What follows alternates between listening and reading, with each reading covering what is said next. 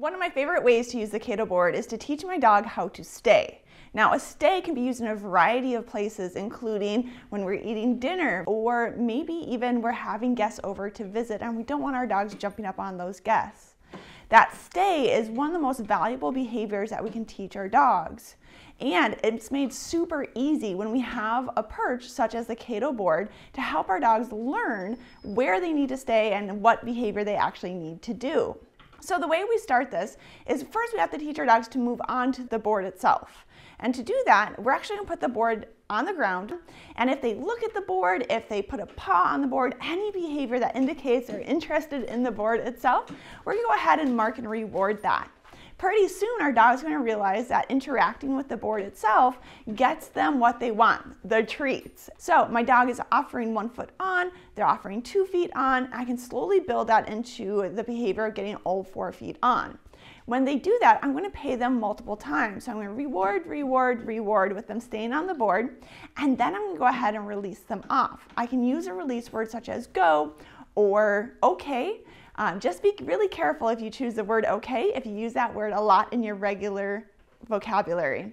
Now, a couple of things to remember. We want to make sure that we're rewarding our dogs at a variable rate of reinforcement. This means it's not every two seconds, it's not every five seconds, it's not every 30 seconds. We don't want to be predictable with this because the more predictable we are, the more our dog learns that, hey, that reward comes every two seconds. If I don't get it, I might as well just get off because it's never ever going to come.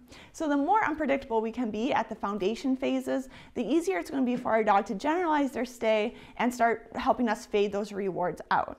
I also want to make sure I'm varying the number of rewards my dog gets per stay. So instead of always three rewards before that release, sometimes two, sometimes seven, sometimes just one. Now, remember, we want to set our dogs up for success the best we can. That means that we want to release our dogs before they release themselves or reward our dogs before they get too antsy and start to get um, a little impatient and jump off that board. So to do that, we want to make sure that if our dog does make a mistake, we're not going to reprimand them, we're not going to yell at them. We're going to take a note that, oh, it, pushing it 30 seconds between rewards is a little bit much. So next time I'm going to cut it back, make sure my dog is successful, reward them every 10 and 15 seconds, and then release them off before they release themselves. Also take into account the distractions that are around you. So if there are a lot of distractions, so people walking around, other dogs, some wildlife, some really interesting smells, or maybe you're cooking dinner, we want to make sure that we decrease the amount of time of the stay as well as increase how often we're rewarding our dog. Those distractions are going to increase the difficulty of the stay behavior. And so in order to help our dog be successful, we want to make sure that we're decreasing the overall difficulty, so making it easier for the dog to stay while those distractions are present. So that's it. That's how we teach our dogs to stay using the Cato board. The next step is to increase the duration, so increasing the amount of time between those rewards. Introducing some distractions, so we'll be talking about that in a later video as well as increasing the amount of distance you have from your dog while they are staying.